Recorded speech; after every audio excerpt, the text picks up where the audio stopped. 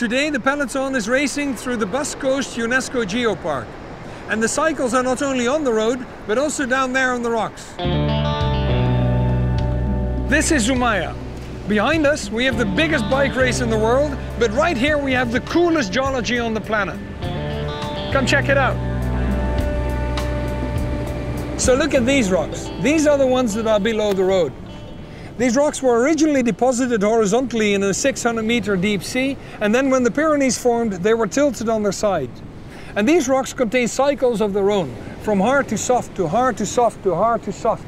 And those are reflections of changes in the climate in the geological past, from hot and humid to cold and dry. And every layer makes a page in a book of many chapters. But there's one dark page of Earth history that I gotta show you here. This little layer here is where the dinosaurs went extinct. That happened 66 million years ago when a massive meteorite struck Earth. Forest fires engulfed the planet and the soot is in this thin layer. But it also contains traces of the metal iridium, which is rare on Earth but common in meteorites. So you're looking at the smoking gun for mass extinction by meteorite. This is a world with dinosaurs and that is a world without. But life did return, and to show you that, we have to go up.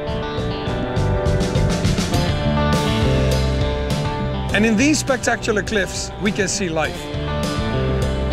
These are not fossils, these are the traces that animals left behind who had a competition with each other in the sand on the sea floor. This is what a peloton would leave behind if they would race through a puddle of mud. But the roof is coming down here, so we better get back to the race.